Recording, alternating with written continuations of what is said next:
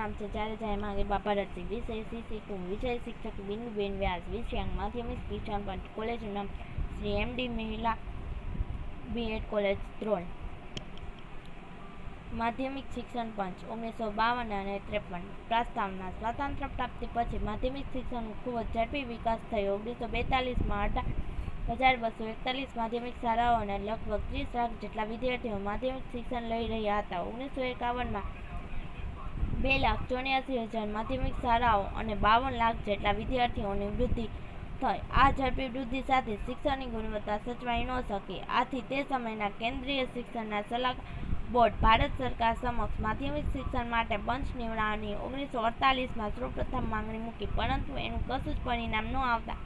ઓગણીસો એકાવનમાં બોર્ડ બીજી વાર માંગણી મૂકી માધ્યમિક શિક્ષણનું સ્વરૂપ બદલ જોઈએ એવું જણાવ્યું. માધ્યમિક પંચની નિમણૂક કેન્દ્રીય શિક્ષણ સલાહકાર બોર્ડની વિનંતીનો સ્વીકાર કરીને ભારત સરકારે ત્રેવીસ સપ્ટેમ્બર ઓગણીસો બાવનના રોજ ડૉક્ટર લક્ષ્મણ સ્વામી મુદ્રાલય મદ્રાસ યુનિવર્સિટીના ઉપકુલપતિના અધ્યક્ષના પદે નીચે માધ્યમિક શિક્ષણ પંચ નિમ્યું અધ્યક્ષના નામ પરથી આ પંચને શિક્ષણ પંચ પણ કહે છે. પંચના ઉદ્દેશો, પંચના મુખ્ય બે ઉદ્દેશો હતા. પહેલું, ભારતની વર્તમાન માધ્યમિક શિક્ષણની પરિસ્થિતિનો અભ્યાસ કરીને તેના પર પ્રકાશ પાડવો.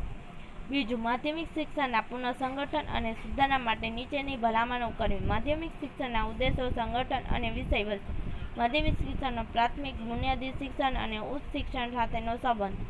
વિવિધ પ્રકારની માધ્યમિક શાળાઓનો પારસ્પરિક સંબંધ. માધ્યમિક શિક્ષણની અન્ય સમસ્યાઓ. પંચે માધ્યમિક શિક્ષણની સમસ્યાઓને ધ્યાનમાં રાખીને એક પ્રશ્નાવલી તૈયાર કરી દેશના કેળવણીકારો, શિક્ષકો અને શિક્ષણ સંસ્થાઓ પર મોકલી. એ પછી પંચે ચૌદ પ્રકરણોમાં કુલ બસો ચુમ્માલીસ પાનાનો અહેવાલ તૈયાર કરીને અઠ્યાવીસ ઓગસ્ટ ઓગણીસો ત્રેપનના રોજ ભારત સરકારને સુપ્રત કર્યો. પંચની ભલામણો, માધ્યમિક શિક્ષણના વિવિધ અંગો અને તેની સમસ્યાઓનો અભ્યાસ કર્યા પછી પંચે જે ભલામણો કરી છે તે ટૂંકમાં નીચે પ્રમાણે છે. માધ્યમિક શિક્ષણના દોષો. માધ્યમિક શિક્ષણને વાસ્તવિક જીવન સાથે કોઈ સંબંધ નથી. બાળકોને વ્યવહારિક જીવનનું લેશ માત્ર જ્ઞાન મળતું નથી. જૂની શિક્ષણ પદ્ધતિ વિદ્યાર્થીને પ્રતિભાશાળી બનાવી શકતી નથી. બીજું, માધ્યમિક શિક્ષણના ઉદ્દેશો. લોકશાહી નાગરિકતાનો વિકાસ, વ્યવહારિક કુશળતામાં વૃદ્ધિ કરવી, વ્યક્તિનો વિકાસ, નેતૃત્વની તાલીમ. ત્રીજું, ભારતીય શિક્ષણનું નવસંસ્કરણ પંચે, માધ્યમિક શિક્ષણનું નવસંસ્મરણ કરવા નીચેની જેવા ભલામણો કરી. માધ્યમિક શિક્ષણની અવધિ સાત વર્ષની હોવી જોઈએ. આ શિક્ષક અગિયારથી સત્તર વર્ષના બાળકો માટે હશે. અભ્યાસકાળ બે વિભાગોમાં વહેંચાઈ, ત્રણ વર્ષનું જુનિયર માધ્યમિક શિક્ષણ અને ચાર વર્ષનું ઉત્તર માધ્યમિક શિક્ષણ. વર્તમાન ઇન્ટરમીડિયેટ કક્ષાઓ તોડીને અગિયારમું ધોરણ હાઈસ્કૂલમાં અને બારમું ધોરણ કોલેજમાં પહેરવું ડિગ્રી કોર્સ ત્રણ વર્ષનો કરવો. ચોથું ભાષાઓનું શિક્ષણ. માધ્યમિક શિક્ષણ પણ છે ભાષાઓના અધ્યયન અંગે નીચેના જેવી ભલામણો કરી છે. માધ્યમિક શિક્ષણનું માધ્યમ માતૃભાષા અથવા પ્રાદેશિક ભાષા હોવી જોઈએ. મિડલ સ્કૂલમાં પ્રત્યેક વિદ્યાર્થીને ઓછામાં ઓછી બે ભાષાઓ શીખવી.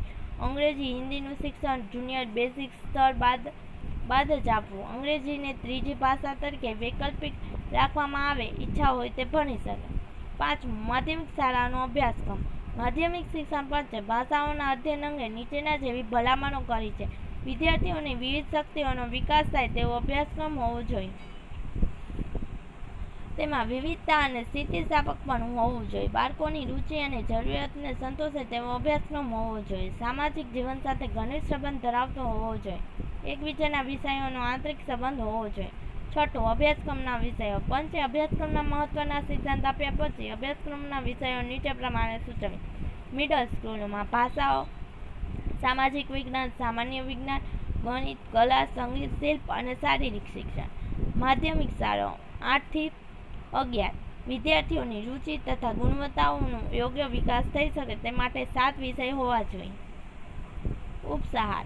સ્વતંત્ર ભારતના ઇતિહાસમાં માધ્યમિક શિક્ષણ પંચનું સ્થાન અતિ મહત્વનું છે, કારણ કે આ એક એવું પંચ એવું હતું કે જેની ભલામણોનો અમલ કરવા ભારત સરકારે શ્રેણી પ્રયત્નો કર્યા હતા. તેનો અમલ કરવા માટે આવશ્યક વહીવટી તંત્ર ઊભું કર્યું હતું. વળી તે માધ્યમિક શિક્ષણના સંદર્ભમાં રચાયેલું પંચ હતું. પંચના અહેવાલમાં એના દોષ કરતા ગુણ અધિક છે. એને કારણે માધ્યમિક શિક્ષણમાં